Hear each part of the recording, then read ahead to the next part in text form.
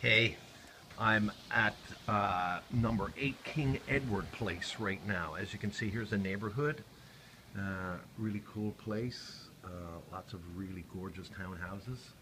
Uh, we're right in the middle of the city, and, and uh, the lake is just right there, right down that street right there.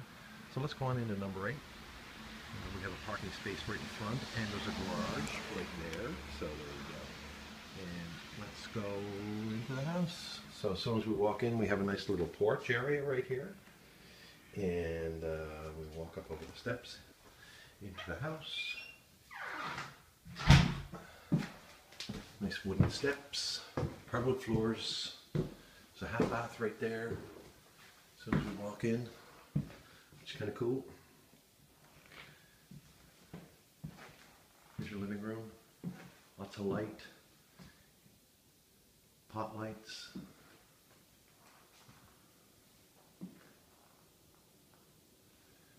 And walk into our kitchen. Look at the backsplash. It is so cool. All stainless steel appliances.